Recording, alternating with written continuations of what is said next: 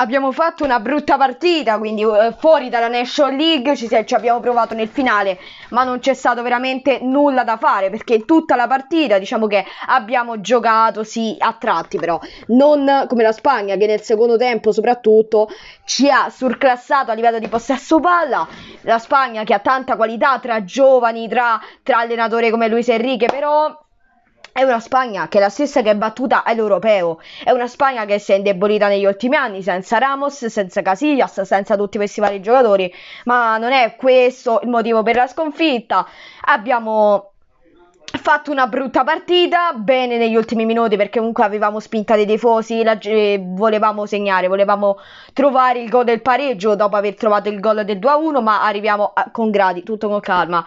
Allora, Partiamo che Donnarumma non deve essere fischiato, allora Donnarumma torna a San Siro in un ambiente in cui viene fischiato un 21enne che è andato al PSG per scelte, per ok soldi, però anche per scelte, per vincere qualcosa, cioè ci può stare, non vedo perché criticarlo però, è sempre un giocatore della nazionale, come si sente lui essere fischiato a ogni pallone che tocca, però poi quando vi fa la parata tutti a esultare, quindi veramente, veramente incoerenza questa, veramente bravo comunque Donnarumma oggi anche se ha rischiato una papera ma arriviamoci. Allora il, il primo gol di Ferran Torres che ha fatto doppietta veramente gran giocatore Ferran Torres.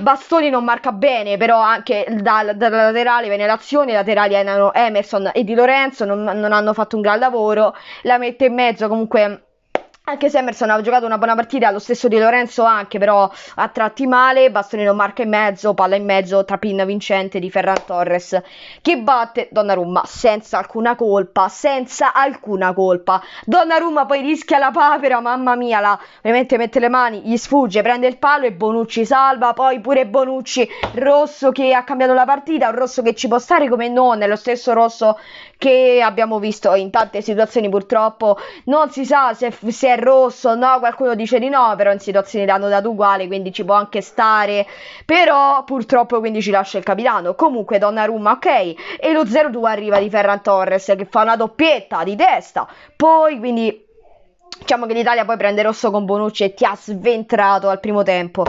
E poi centrocampo Italia oggi inesistente tranne in qualche occasione, però veramente male male. Locatelli bravo di fisico, di forza, a farsi valere ha fatto una buona partita il migliore in campo Federico Chiesa perché si, si, lotta con gli avversari sulla fascia al centro riesce a fare il gol del 2-1 è tutta opera di Chiesa. Chiesa ruba palla al centrocampo corre fino all'area di rigore della Spagna fa il tapin vincente Lorenzo Pellegrini che veramente i numeri eclatanti in questo inizio di stagione fa ancora gol e prova a far riprendere l'Italia.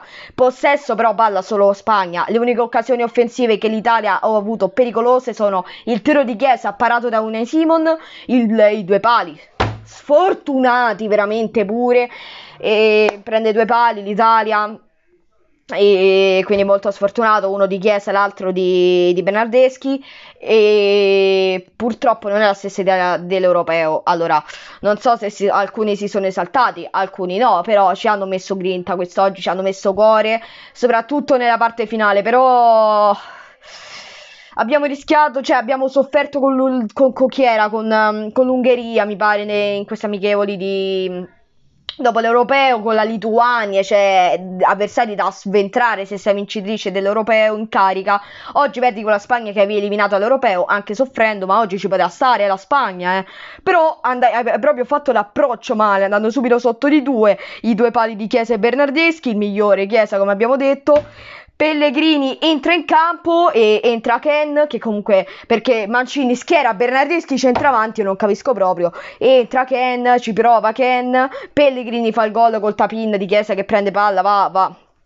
Veramente tutto e purtroppo siamo stati eliminati da questa competizione. Domani ci sarà Belgio-Francia e vedremo lì chi passa. Sarà anche una bella partita. E. Mm,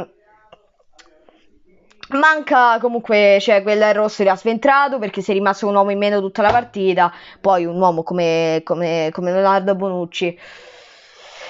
Eh, e poi è entrato Chiellini, ci siamo fatti valere là in difesa, solidi, Chiellini un leader, però poi in realtà poco, poco arrosto perché poi non, hai, non sei riuscita a fare il gol del pareggio, ci abbiamo provato, la punizione di Calabria all'ultimo minuto la mette in mezzo, nessuno ci arriva, ma perché Calabria comunque ha fatto una punizione veramente troppo, troppo, troppo sbilanciata fuori dal... cioè palla che prende un Simon facilmente e comunque e siamo arrivati in semifinale, brava Italia, sicuramente dovevamo vincere, questo torneo era importante, però mh, mm, abbiamo visto, abbiamo difficoltà, oggi non c'era immobile per infortunio e quindi senza il bomber poi Mancini mette chi Bernardeschi, Bernardeschi non capisco, doveva mettere Ken dall'inizio o comunque Raspadori ce l'hai. E io per me ha sbagliato la scelta là davanti ma non si può rimproverare sicuramente Mancini. E, e niente, per questo è tutto, noi ci vediamo alla prossima.